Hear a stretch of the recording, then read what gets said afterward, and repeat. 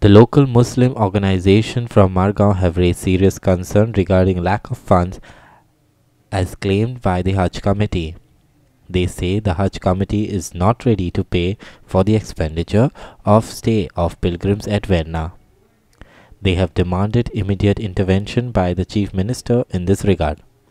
These local Muslim organizations from Davoli addressed media on Monday in Margao. They have alleged that the Hajj committee says that the center is not giving money this time to stay of pilgrims at Verna.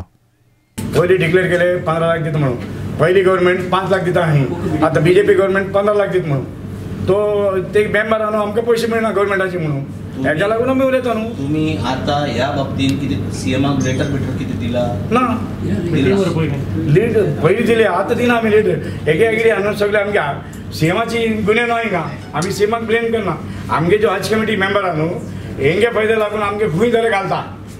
आमी बोगळा भाशेक खंय गेले आमी agree ना. CM interest घेवन ते मेंबराक सांगपाक जाय आमी सांगपाक गरज ना.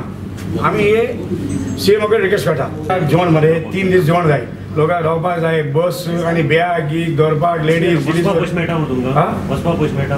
पळय ते दिना न्हू. गव्हर्मेंट कोण दिता म्हणटा ते दिना म्हणटा ना.